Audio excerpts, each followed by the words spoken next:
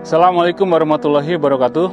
Sahabat sekalian, uh, Alhamdulillah di kesempatan kali ini tim kembali melakukan pendistribusian bantuan air bersih tahap kedua kepada masyarakat yang ada di pesisir barat Pandeglang atau yang lebih kenal dengan uh, Pandeglang Kulon.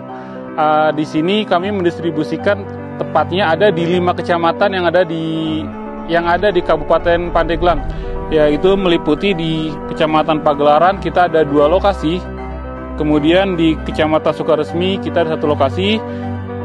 Lalu ada di Sobang kita ada di satu lokasi.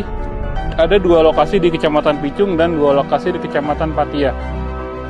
Alhamdulillah eh, respon dari masyarakat memang sangat begitu besar. Maka dari itu, yuk berikan sedekah terbaikmu kepada BWA Insya Allah sedekah terbaik dari kalian akan memberikan senyum di wajah mereka. Sekian, Assalamualaikum warahmatullahi wabarakatuh.